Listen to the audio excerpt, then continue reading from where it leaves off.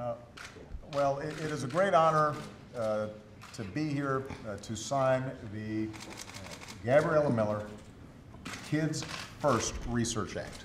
Uh, And I want to talk about uh, Gabriella, the the, young girl that this bill is named after. Um, When Gabriella, a beautiful, you know, fun-loving, smart young lady, um, was nine years old, she was diagnosed uh, with uh, a brain tumor about the size of a walnut. And, you know, she was uh, tough, and she knew that she had to fight it. And one of the ways that she did was to, uh, it was about the size of a walnut, so she smashed walnuts. And sometimes I'll bet you might have helped out. And, and, you know, she fought the good fight.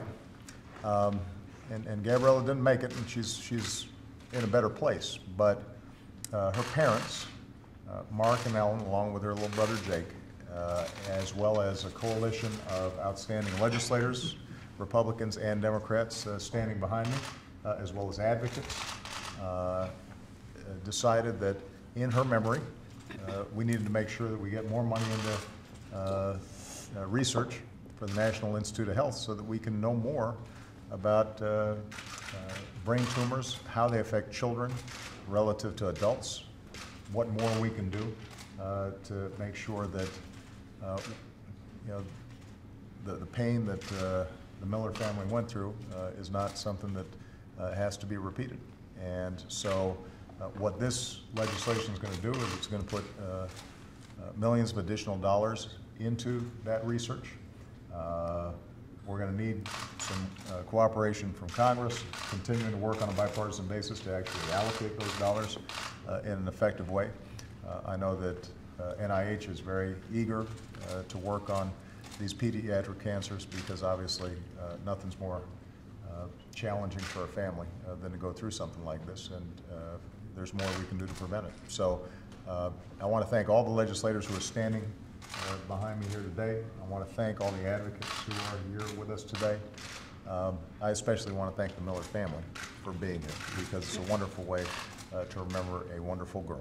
Okay, so Jake, do you think I should start signing? I should? Okay. So what I got to do is I got to use all these pens, which means I can only use, like, uh, for each pen, I can only make like half a letter. So it's going to take a little bit of time. Are you okay with that? All right, okay. All right. I'll make, I'll make like a B, because that's, my first name's Barack, so it starts with a B. And we'll just keep on working our way down there. There's an A, there's an R. We're almost halfway there. There's another A. I'm gonna, I'm gonna go for two letters here, I'm gonna make a C and K, because I only got two pens left.